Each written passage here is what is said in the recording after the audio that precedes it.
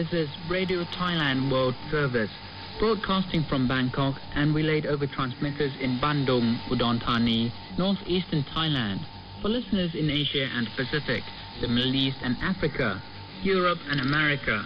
it is now time for our broadcast in Japanese.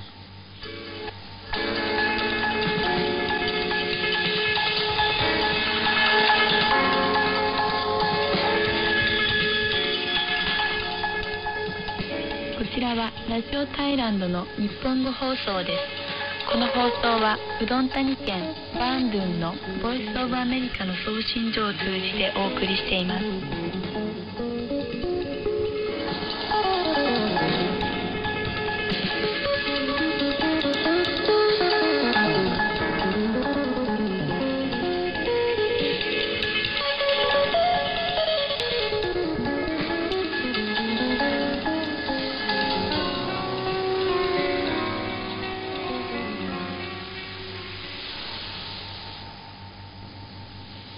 こんばんは。今日は2月4日金曜日です。ラジオを聴きの皆様、いかがお過ごしでしょうか？それでは本日お伝えしますニュースの項目です。5歳から11歳の子どもたちへのワクチン接種で、これまでのところ深刻な副反応の報告はありません。パンガー県にバーンナム県津波博物館が開館しました。農業省が質の高い人材とプロの農家の育成を進めています。文部省主催のイベントが開催されます。それではまず初めのニュースです。5歳から11歳の子どもたちへのワクチン接種でこれまでのところ深刻な副反応の報告はありません。アヌティ副首相兼保健大臣によりますと1月31日から7つの基礎疾患を持つ5歳から11歳の子どもたちへの新型コロナのワクチン接種で大人と同じように接種部分の痛みや腫れなどはあったものの深刻な副反応の報告はこれまでのところありませんでした。食品医薬品局の承認を得て7つの基礎疾患を持つ子どもたちへの先行ワクチン接種がすでに実施されており接種部分の痛みや腫れ発熱などの報告があったことを明らかにしました。しかしこれらの反応は大人でも報告された一般的な副反応であり深刻な副反応はありません。基礎疾患のある5歳から11歳の子どもたちはかかりつけ病院の小児科の判断で近くの病院でのワクチン接種を受けることができます。5歳から11歳の子どもたちに接種されるワクチンはファイザーとなっています。ワクチンは全国に配布されていますが5歳から11歳の基礎疾患を持つ子どもたちがワクチンを接種するか否かは保護者の判断とされています。次のニュースです。ハンガー県にバーンナム県津波博物館が開館しました。イティポン文部大臣はパンガー県ターカクバー地区バンムアンにバーンナムケム津波博物館が開館したと発表しここを歴史学習と文化観光を進める拠点としてほしいと語りました。2004年12月26日スマトラ島沖地震による津波でパンガー県をはじめタイの南部にも大きな被害が発生しました。バーンナムケム津波博物館はこの災害の記憶を後世に残しそしてその時にタイ国民が一致団結した姿を人々に忘れないよう残すために建設されました。津波災害の証拠を保管する場所でもありまた毎年敬意を示すためにやってくるタイ人や世界中の人々の拠り所としたいとしています。イティポン文部大臣は津波博物館は地域の文化観光地としての開発や芸術文化を広めるためのコミュニティセンターの役割も担っている。また地元で作られた土産物を販売したり雇用の創出を支援し地域経済の支援もできると述べています。バーンナムケム津波博物館は文化と創造性はタイの経済と社会の発展に主導的な役割を果たすとの文部省の方針を受け計画されました。2月4日の開会式はプラユット首相から指名されイティポン文部大臣が式典を主導しました。開館式の様子はタイ国営放送 NBT2HD のラジオ局文部省の Facebook でライブ中継されました。開会式にはイティポン文部大臣のほか文部省の関係者パンガー県知事パンガー県職員タークアクバー地区職員のほか地元住民も参加しました。バーンナムケム津波博物館は5来およそ0.8ヘクタールの土地にあり本館は平屋建てで正面に波の形がデザインされています。展示スペースは4つのエリアに分かれています。外には津波で打ち上げられた漁船2艘も展示されています。一般公開は今月2月からとなっておりタイ人だけではなく外国人観光客にも訪れてほしいとしています。詳しくは文部省のホットライン1765で確認できます。次のニュースです。農業省が質の高い人材とプロの農家の育成を進めています。農業農業協同組合省トンプレイオ事務次官は人材育成のガイドラインについて話し合いを行いました。この会議には加瀬沢と農業大学の関係者も参加し変化する社会的状況に沿った農業部門の人材育成について意見交換が行われました。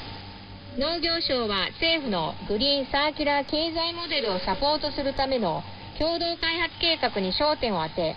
人材開発を推進していく方針です。これは差し迫った問題を解決し農家がニューノーマルの新たな時代に働くための基礎を築き農業農業協同組合省の使命を推進する上で団結力を築くことを可能とするとしています。人材育成では3つの目標があります。1目標達成するための戦略と政策を推進します。効果的なオンライントレーニングコースの開発を加速し地方にプランニングスキルを持っている人材を育成し問題解決に取り組んだりコンサルティングできる人材の知識移転により知識の管理を促進していきます。2農業。農業協同組合省のネットワークを国内及び海外にも拡大します。これにより言語スキルの高い人材を育成する準備を進めていきます。3人材育成を推進するための基盤を築きます。農業省の職員を育成しスマートオフィサーになるよう徹底的に育成していきアクションプランの準備を進めます。2023年から2027年にかけての人材育成計画では農業省は効率的で透明性があり近代的な人材資源の管理システムを確立したいとしています。次のニュースです。文部省主催のイベントが開催されます。ハイらしさを推進し雇用の創出とコミュニティの収入を生み出すために南部パッタルン県で2月10日から13日にかけ文化フェアタイのライフスタイルが開催されます。文化フェアタイのライフスタイルは毎年開催されているもので2022年度はパッタルン県など全国4カ所で開催されます。イティポン文部大臣は文部省が新しい経済モデルを推進し手工芸品伝統芸術舞台芸術タイ料理文化観光の潜在的な5つの力を蓄えた文化産業などタイのソフトパワーを推進することを目指していると語っています。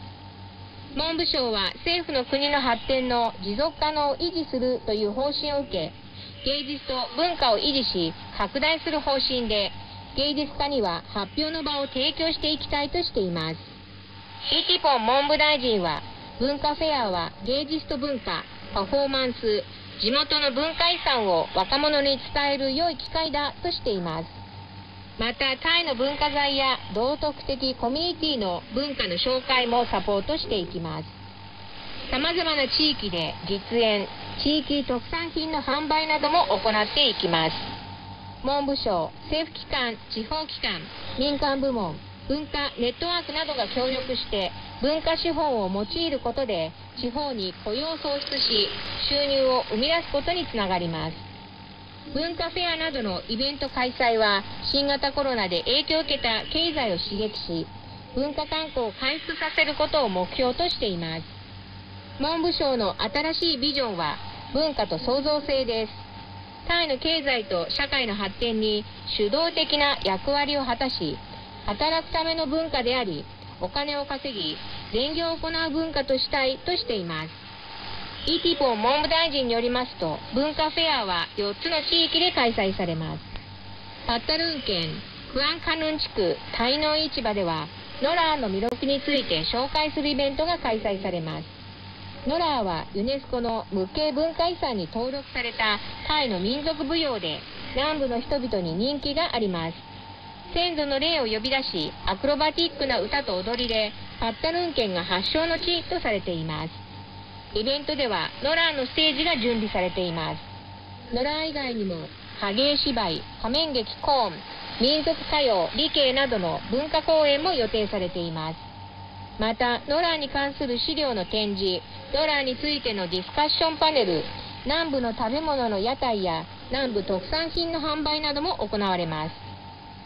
文化フェアはパッタルン県を皮切りに4月にはトラート県5月にカラシン県7月には北のローク県で順次開催されていきます。それでは本日お伝えしましたニュースの項目を繰り返します。5歳から11歳の子どもたちへのワクチン接種でこれまでのところ深刻な副反応の報告はありません。ハンガー県にバーンナムケム津波博物館が開館しました。農業省が質の高い人材とプロの農家の育成を進めています。文部省主催のイベントが開催されます。以上ラジオタイランドの小島秀美でした。ごきげんよう。さようなら。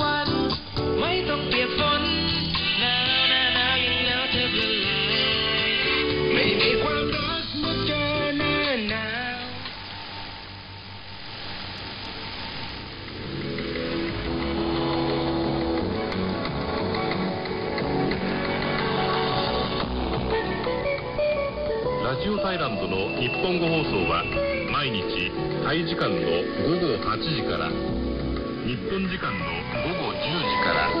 そして GMT では13時から15分間放送しております。これで本日の放送は終了いたしました。